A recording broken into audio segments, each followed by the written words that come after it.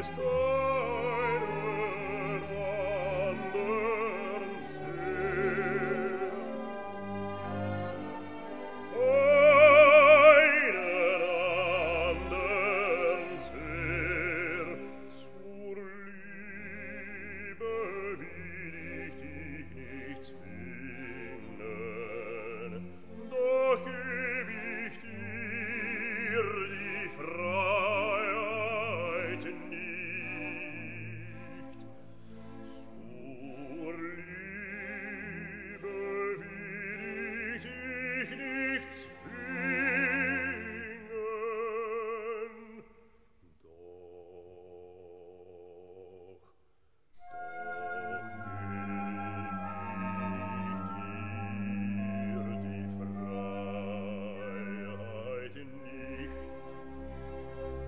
ich rufet ja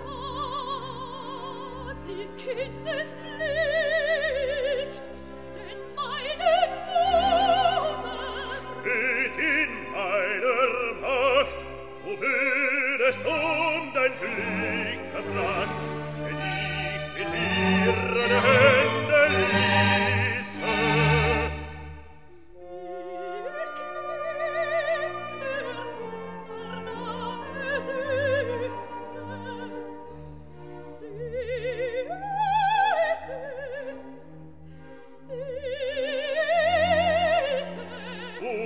ein stolzes Weib,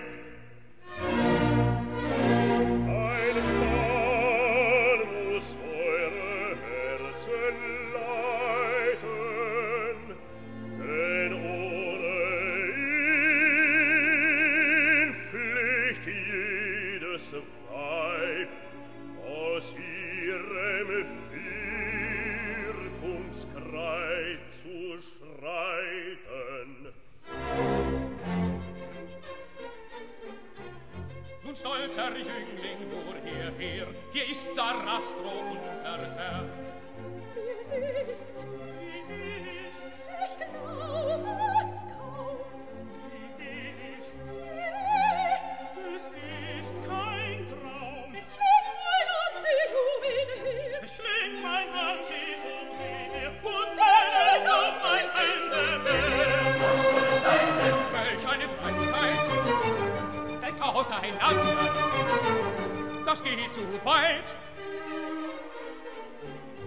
Sklave liegt zu deinen Füßen, lass den verwegnen Frevler büßen.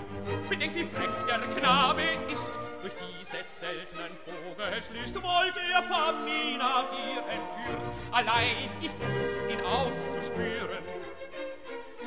Du kennst mich, meine Wachsamkeit. Verdient, dass man ihr Lorbeer streut, Ergib den so sogleich. Deine Gnade macht mich reich. Siebenundsiebenzig um Sohlenstreich. Ah, Herr, ach, oh, Verdienung verhofft ich nicht. Nicht Dank, es ist ja meine Pflicht.